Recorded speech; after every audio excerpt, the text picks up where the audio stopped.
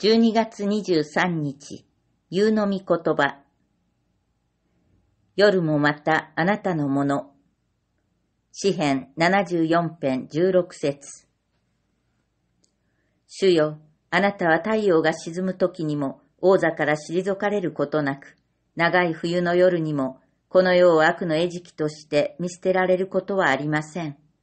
あなたの目は星のように私たちを見守り、あなたの腕は王道体のように私たちを抱きます。心よい眠りのつゆ、月によるすべての影響力はあなたの御手の中にあり、夜の脅威と厳粛さもあなたと共にあります。このことは夜中に目を覚ましている時にも、激しい苦痛にもだえている時にも、私にとって実に心よい慰めです。尊い果実は太陽によって成熟しますが、月によっても成熟します。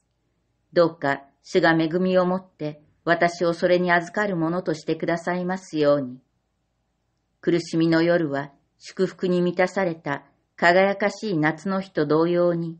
愛の主の摂理とご支配のもとにある。イエスは嵐の中におられる。主の愛は夜をマントのようにまとっている。しかし、真っ黒な衣も信仰の目には鮮やかである。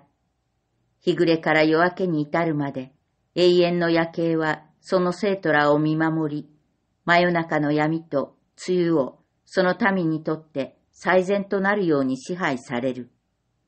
私たちは善悪二つの神が互いに支配権を得ようとして争っているなどとは信じない。私たちは、私は光を作り出し、闇を創造し、私は主、これらすべてを作るものと言われる主の御声を聞く。宗教に対する無関心と社会的な罪の暗黒の時期も神の目的から除外されているのではない。真理の祭壇が汚され、神の道が捨て去られるとき、主のしもべは激しい悲しみに泣く。しかし、絶望しなくてもよい。なぜなら、最暗黒の機会も主が支配しておられ、主が命じられるならば、終局が来るからである。私たちには敗北と思われることも、主にとっては勝利であることもある。暗い夜に包まれていても、かすかな光さえ見えなくても、